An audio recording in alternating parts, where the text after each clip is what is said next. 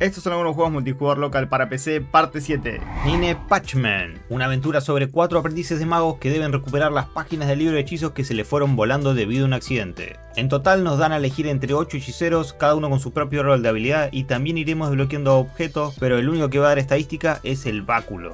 Party Animal. Peleita entre adorables animales humanoides con físicas de muñeco de trapo. Jugaste Gambit es similar. Además de lucha todos contra todos, tiene un modo de batallas por equipos y un modo de acumular puntajes. Como un partido de fútbol, el que junta más caramelos gana y otro más. Civilization 6. En este hay que llevar una civilización desde los inicios hasta las estrellas, pasando por la época antigua, después a la medieval y así hasta sobrepasar nuestra propia era actual. Es del género 4X, así que tenemos que gestionar muchos parámetros como la cultura, la ciencia, la religión y muchos más. Su modo local consiste en crear una partida hot seat donde se va rotando el teclado por Lo ideal sería que si van a jugar de este modo lo jueguen por equipo, pero bueno, eso ya lo decidirán ustedes.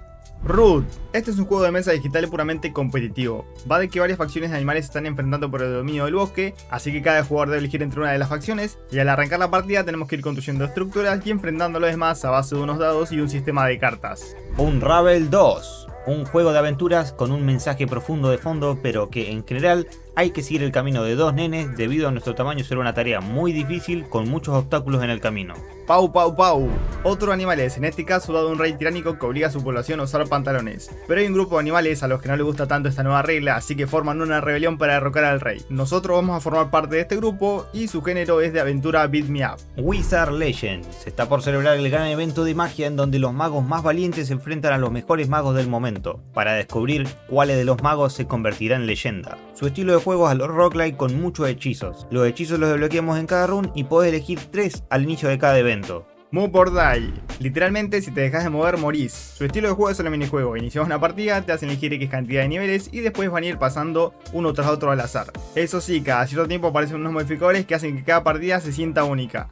Need Hook 2, juego de peleas pero con una mecánica extra muy simple. Tenés que llegar hasta la última zona del rival. En total hay 3 zonas y cuando arrancas la partida ambos están en el medio. Cuando matás al otro tenés que salir corriendo antes de que él respawnee. Dorf, Hammer for Hire. Somos un grupo de forjadores de armeros ambulantes que van en busca de soldados que necesiten sus servicios. Al inicio estamos en un bosque, pero después tenemos en medio de unas cuevas congeladas o hasta en medio de un volcán. Su estilo de juego es algo overcooked, te van llegando pedidos y tenés que entrenarlos antes de que se agote el tiempo. Tool Apps. Somos un grupo de remoladores, desde cambiar el piso hasta tirar las paredes abajo. Vamos a tener un plano que nos da las indicaciones y el resto de los materiales nos irán llegando a la puerta. En este juego hay que comunicarse muy bien entre equipo para no terminar tapizando toda la pared de un color incorrecto. Esto lo decimos por experiencia personal, nos pasó varias veces. Puncha Punch, otro juego de peleas, este va de boxeo un tanto especial, ya que peleamos contra vikingos, sumos, astronautas y otros rivales extraños.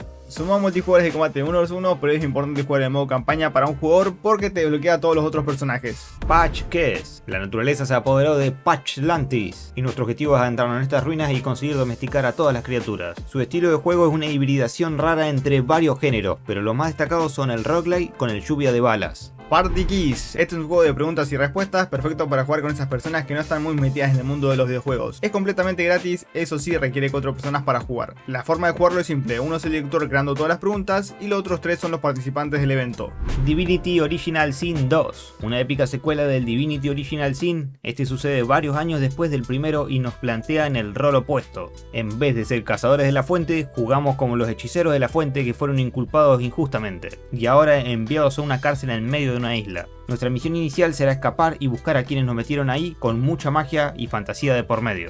Chippy, un juego de lluvia de balas con navecitas. El objetivo principal es enfrentarnos a monstruos gigantescos a los que tenemos que desmembrar parte por parte, hasta llegar a su núcleo y destruirlos. En comparación a otros juegos, su dificultad es bastante versátil, porque tiene tres niveles de dificultad entre fácil, normal y pesadilla. Y lo normal en este género es que dejen solamente una única dificultad. Mini Matches. Este es un juego fiesta de cubitos con muchos minijuegos clásicos, pero lo que realmente lo hace especial es que hay un árbol de habilidades que va creciendo cuanto más jugamos, y cada jugador solamente puede elegir una habilidad antes de iniciar la partida, así que tenés que usarla con sabiduría.